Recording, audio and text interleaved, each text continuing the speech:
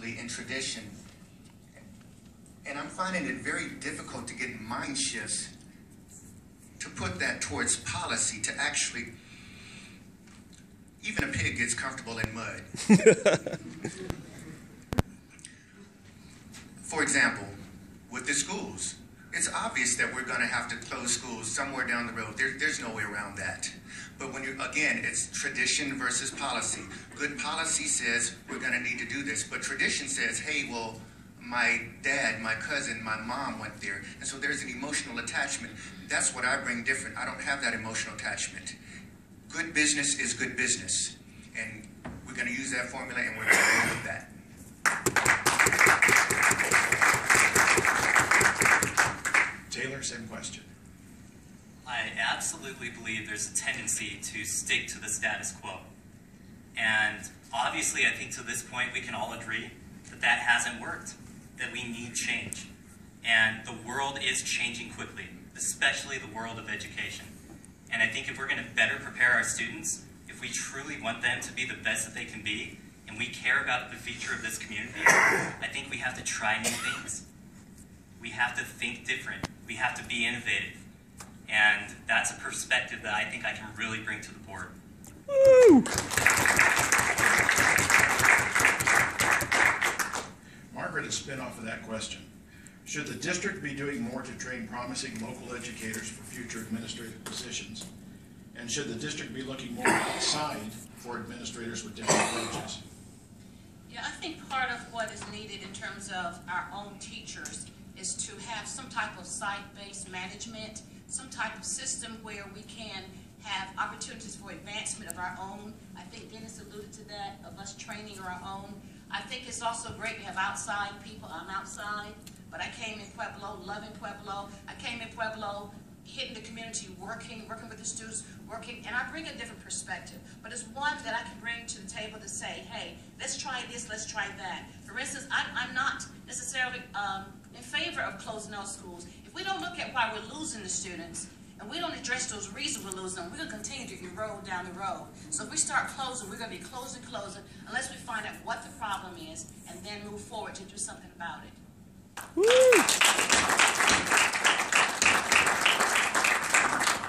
Dottie, same question. Will you repeat it, please? Sure. Should the district be doing more to train promising local educators for future administrative positions? And should the district be looking more outside for administrators with different perspectives? Oh, I totally believe in supporting the community, and I think that we do need to be teaching our, our educators who are here to be promising administrators. We are not listening to them, so right now, they don't really want to be administrators. I think that bringing outside people also helps because they do bring a fresh perspective. I come from a community that where the demographics are very, very similar to Pueblo. And it's nice to have somebody outside of the community who can still understand what is going on within our community. And if we do both of them together, then we're going to have a better educated Pueblo, and that's what we need. Woo!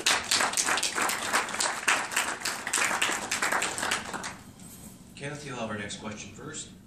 Should each board member be allowed to speak to the public and media, or should most communications be routed through the board president? Uh-uh. Every single board member needs to be responsible and accountable to the constituency, to every single person here, every person that walks up to you. We should never be off limits. We are you. Yeah. A couple of months ago, I sat right there. I'm no different. So absolutely, I, I, I completely disagree with having any distance between us and the public. You cannot solve an issue if you don't know where the issue is, if you're not talking about it, if you're not face to face with somebody finding out what their issues are. You, you can't do anything about it. So absolutely, we need to be amongst our people doing what we need to be doing to solve these issues and getting help from them. Hey, what do you think the issue is? Hey, what do you think the answer is?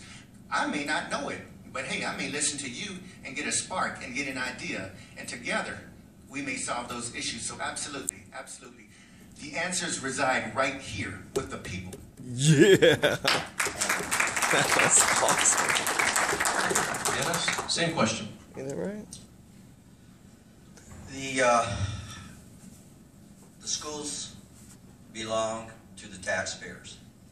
Uh, I intend to speak for 16 and a half thousand individuals, most of them too young to vote.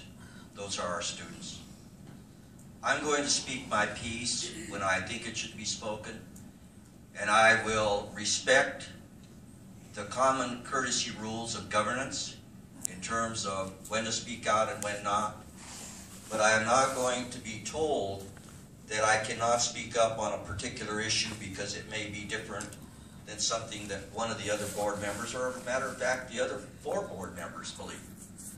So, in interest of transparency and gaining the respect and integrity of this particular community, we need to be able to speak out on what we see as the actual issues and not as what someone else thinks the actual issues are.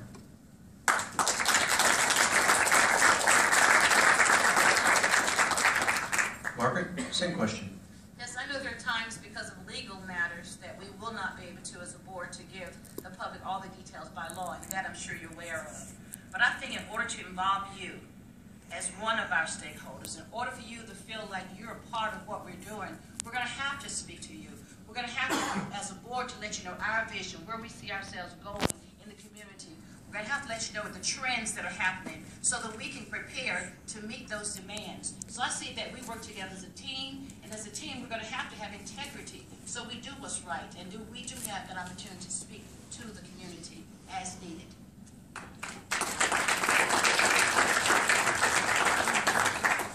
Dottie, a spin-off of that question. Speaking of innovation, would it make sense for the board to not have a president, but instead merely rotate the duty of managing board meetings? I think that'd be a great idea. Um, right now, it seems that the person that's the president uh, resides over the rest of the board. And as a parent, looking in on these meetings and looking in at the school board, I don't appreciate it. I don't appreciate the fact that one person is the sole um, speaker for all of them. And I know that the board gets to speak, but quite frankly, it needs to rotate. We need to have somebody different every once in a while that, that has that voice to speak up. And especially somebody like me, when, if I was on the board, because I'm a parent, I can tell you exactly what's going on. And I could also tell you, it's not gonna work, stop it. So, absolutely, because I wanna be president. I think everybody up here would like to be president of the board someday. And this will give us all an opportunity to do that. Woo! Taylor, same question. I don't think it's necessary for us to have to rotate people every single meeting. I think what we do have to do is build a culture where every single board member, not just the president, feels that they can provide their perspective and that they can share their ideas. And to me, that's not even a question. That culture should not be there. And if we, as the board, people on the school board, are the bridge to the community, every single one of those people has to be accessible. They have to be able to hear the community's ideas. And I think I don't think we can just limit that to one person as the board president.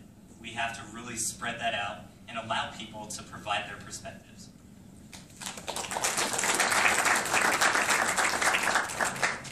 Okay, Dottie will answer this one first. And it may seem like a simple question, but what is your real assessment of the current quality of education offered to the Pueblo City schools? Well, we moved here five years ago, and I do have, my kids are back there, um, kids in Pueblo City schools, and I'm gonna have a child in Pueblo City schools until 2022. When we arrived here, I can tell you that it was kind of a shock because my kids were a little more advanced, coming from a different school, and they got a little bored and, and then being in the classroom with those teachers, they just aren't given the resources that they need in order to teach right. I think that if you have happy teachers, you're going to have better educated students. And the overall culture with our with our teachers right now, they, they feel disrespected and they feel as if they don't have a voice. And I think that once we can listen to them and get get a community and, and teacher coalition going, then maybe we can start figuring out how to make our education system better. But right now, it's, it's in dire straits, and I think that we really need to work on, on focusing on our children and just making Pueblo better.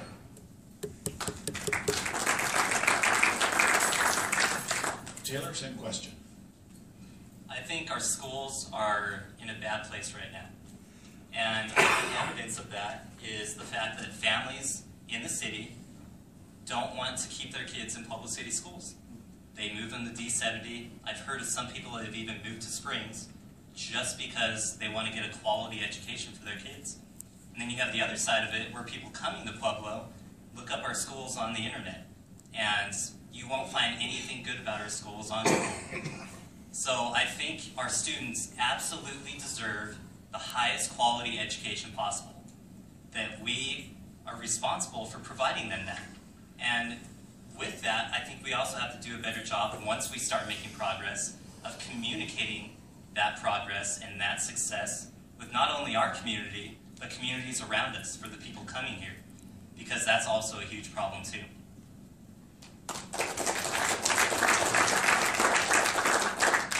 Dennis, same question. It's a rather difficult question. Uh, The dedicated teachers that I know in this community are outstanding, and the students that are in their classes are getting the highest quality education that they can. I'm a real cynic of certain testing requirements and what they really show up in our children. I will guarantee you this, however, that a lousy teacher is the most overpaid person in the United States. The good, excellent teacher is the most underpaid professional in the United States. I believe that there is a perception out there right now that Pueblo City Schools is not providing the quality education it can to its students. And in this day of choice, people are ex exercising that choice. But I will guarantee you this, if given the opportunity to serve on this board, those standards will raise and our kids will come to school because it will be the school of their choice in Pueblo City Schools. Okay, Kenneth, a related question. How do we evaluate teachers and educational programs? Oh, glad you asked. Well, before I, uh, I was on the board, I'm not sure how they, uh, they evaluated folks. And, uh, we had the opportunity to evaluate our superintendent recently. Um, wasn't really a fan of how we did that. When I was in the Army, we used to evaluate our soldiers, evaluate our educators. Uh, I was actually Director of Education of Hospital Education at Evans Army Community Hospital. And so I evaluated my folk, my, my teachers, my, my people. What I did was I went up on base and I actually got the, the support forms, the new book, the guidelines of how Department of Defense evaluates its instructors. We now have that here in Pueblo City Schools. We'll be using that next year because what we're using right now clearly does not work. Policy and administration, that's our weak point in District 60. I can tell you that straight up. That's, that is our weak point. If you can't fix your core, then everything is going to be broken. Thank you. Margaret, same question. Can you repeat the question, Sure. please? How do we evaluate teachers and educational programs? Well, unfortunately, um, test results have been a great determiner for the public about teachers. But if you go into the classrooms, as I go in, you will see those teachers dealing with very challenging populations in many places. I have the ability to work with the students who need IEPs, 504s, RTIs. And in one classroom, if I can quickly tell you, I saw students with the most challenging behaviors I've seen in a long time. But I saw that teacher continue to work. She stayed focused on the subject. She, she rotated around that classroom. Part of my training is a teacher assessment and observation. I commended her at the end how she managed to manage all those behaviors as well as keep them focused on the lesson. Now, someone else come in that classroom probably say, oh my goodness, look at that child sitting on that chair. But if you watch how she handled them, then you will see that she did a great job. So I think some of the assessment we use do a disservice to actually what our teachers are really doing in the classroom.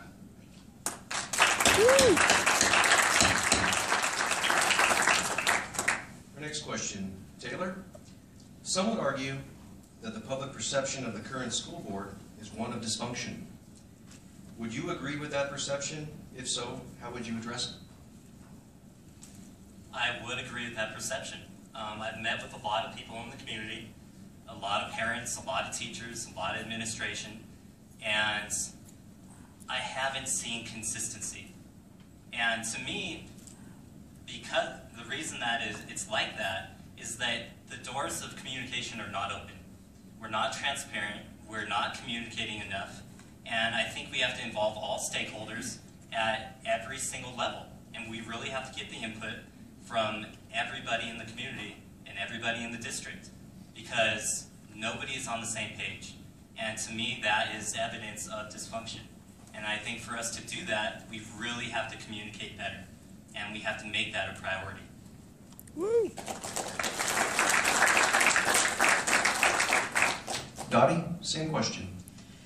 Well, as one of the people that is in the public and has kids in the school, uh, the perception is definitely one of dysfunction. Um, you have people that appoint superintendents that she was the sole candidate. Um, that's a bit dysfunctional.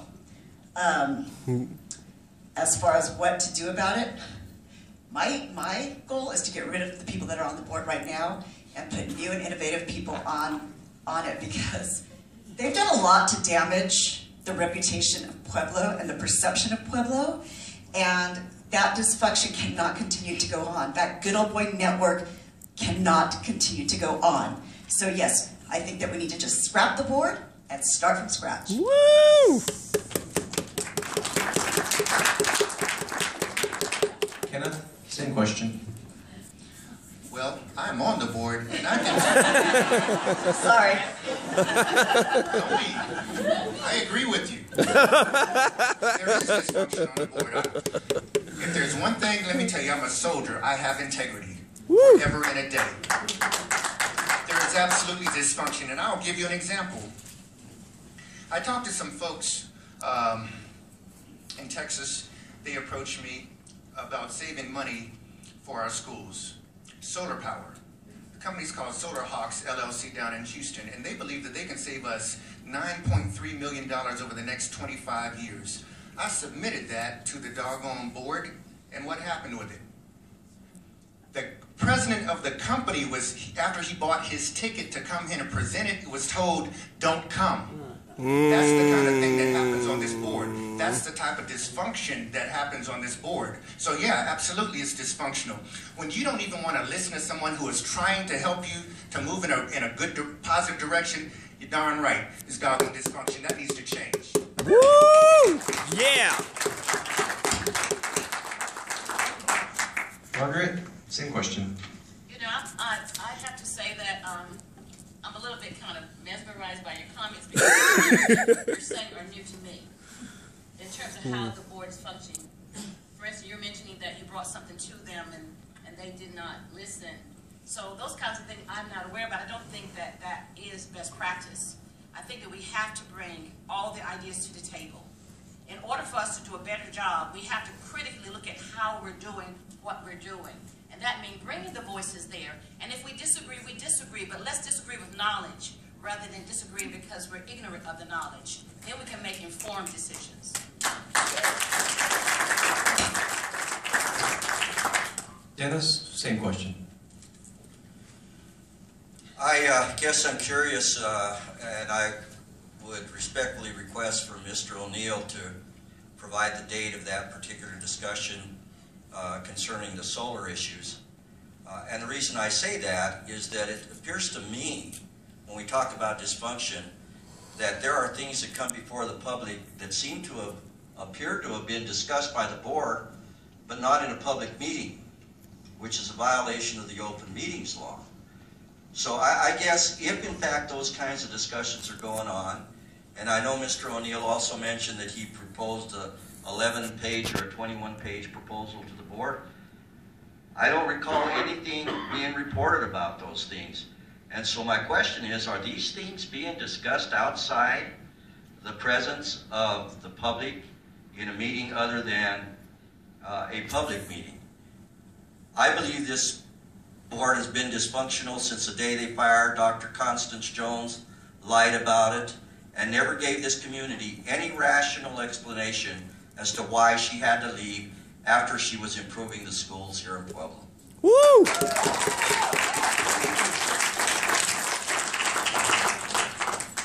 That wraps up the question and answer portion of the program, so we'll now go to closing remarks from each candidate. Reminder that each candidate will have two minutes uh, to have their closing remarks. And we'll reverse the order, and the order will be Margaret, Taylor, Kennedy, Dennis, and then Dottie. So, Margaret, you'll begin. I am the right person at the right time.